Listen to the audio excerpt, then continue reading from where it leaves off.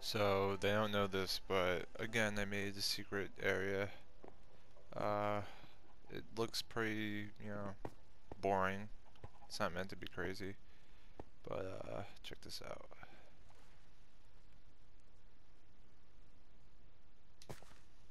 Boom. I made a similar one over here that, that they know about because, you know, I was just so proud of it. Even though you can barely get in there now. But what they don't know is the new one that I just built, which is literally right here. Just go down here. Boom. It's in here. I'm gonna start putting a lot of stuff in here, and then be like, Matt, I gave you all this stuff. And he's gonna be like, what? And I'm gonna show him.